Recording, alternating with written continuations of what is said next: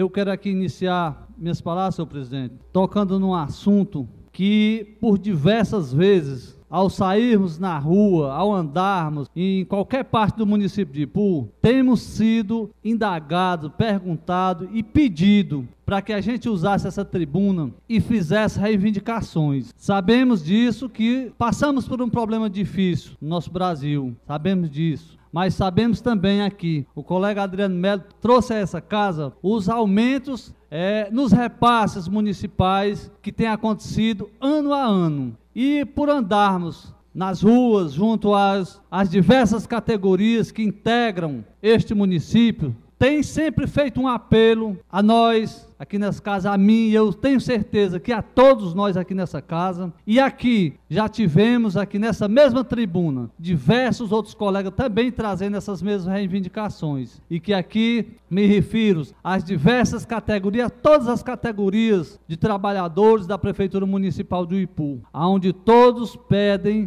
é um aumento, que nós sabemos dos problemas, das dificuldades, mas que vem acontecendo esse problema da corrosão dos salários de todas essas classes. E seria até justo, muito justo, que fosse feito uma avaliação das condições financeiras para que se pudesse acontecer realmente um aumento das diversas categorias. E aqui nós temos, no último concurso, muitos, muitas categorias que foi estipulado em edital um salário fixado, que era um equivalente a dois salários, e que hoje, os salários há cinco anos atrás, que foi os, os, os últimos aumentos, têm sido defasados, e que hoje, esses que equivaliam a dois salários há cinco anos atrás, hoje eles valem praticamente a um salário mínimo atual. E que se referindo a salário mínimo atual, todos sabemos que uma lei menor não se sobrepõe a uma maior. E sabemos que existe uma lei federal que todos os anos, a partir do dia 1 de janeiro,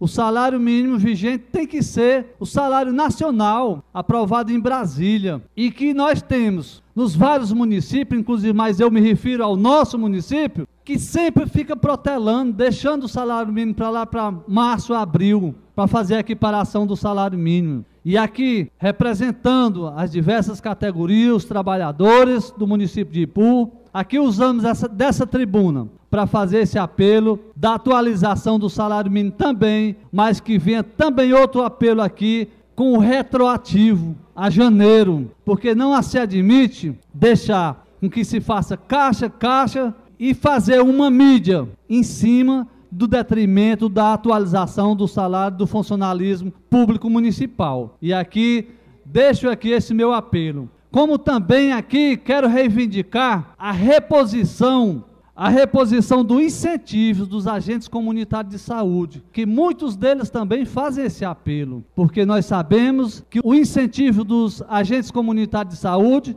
chegava a 350 reais e que há muito tempo foi, ficou só em 200 e até hoje não foi feita essa reposição e essa diferença também de vários meses que aí vem tendo essa, essa defasagem, ela não vem sendo reposta. E aqui nós deixamos esse nosso apelo, aqui a gestão, como aqui diz, diversos outros colegas aqui também já fizeram esse mesmo apelo e eu quero aqui me somar aos demais para que a gente possa fazer uma corrente positiva em cima do trabalhador do município de Ipu. E aqui, que a gente, nós todos aqui, a Câmara Legislativa do município, deem-se as mãos para que isso possa acontecer. Isso não é uma questão simplesmente de oposição, de situação. É uma questão do funcionalismo público municipal que nos aborda. Eu tenho certeza que todos vocês, todos nós, somos abordados por esse tema. São os motoristas, são todas as categorias aqui nesse município que nos fazem esse apelo todos os dias. Pois não, Eduardo?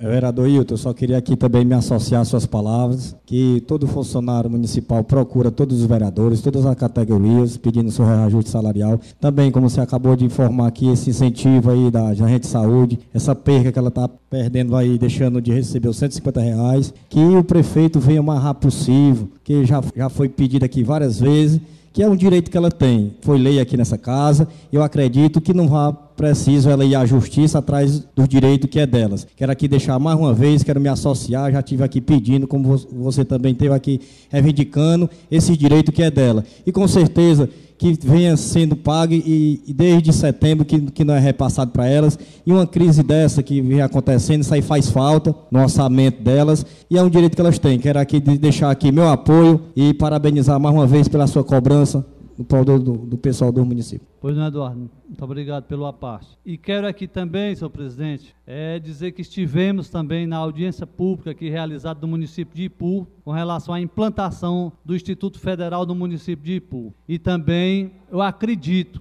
que isso deve ser unanimidade nesta casa também, da luta de darmos as mãos e nos somarmos forças para que isso venha acontecer no município de Ipu. Nós sabemos que é um projeto que tem como autor o deputado federal Domingos Neto, o relator Cabo Sabino, e aqui também não queremos deixar também de dizer do apoio, do apoio das diversas outras autoridades municipais, estaduais, que lá compareceram. Isto é positivo. Isto se soma para o município do Ipu isto é importante para que venha se somar. Não importa quem ceda o terreno, não importa quem esteja, é importante que todos estejam juntos, juntos para somar para o município de Ipu.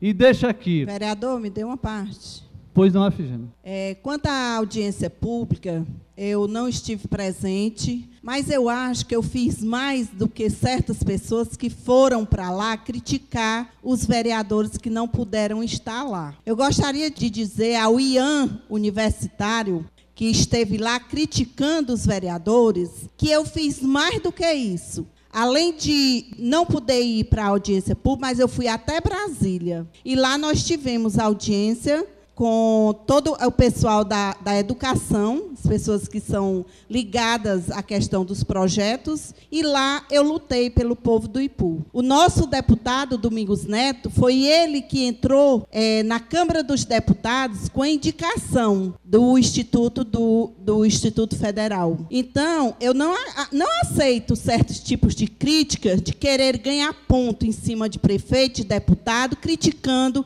os vereadores. Pois eu não estive naquele momento, porque não pude estar. Muito pois, obrigada. Pois, pois muito obrigada, Figênia. E também dizer que também com relação, que bom seria que realmente tivéssemos todos lá. Mas isso não quer dizer, isso não quer, não quer dizer que porque se não estava lá, aquilo não, não, seria a única tribuna que se pudesse reivindicar estar do lado daquele projeto. Claro que não. Existem diversas outras tribunas que se pode, é, os vereadores, e pessoas do município de Ipu estarem lá também defendendo, defendendo essa causa, essa questão tão justa para o município de Ipu. Então, eu deixo aqui o meu abraço a todos os ipuenses em dizer que nós estamos aqui da minha parte, eu acredito que os demais também, estamos todos irmanados para que esse projeto venha a dar certo. Muito obrigado, senhor presidente.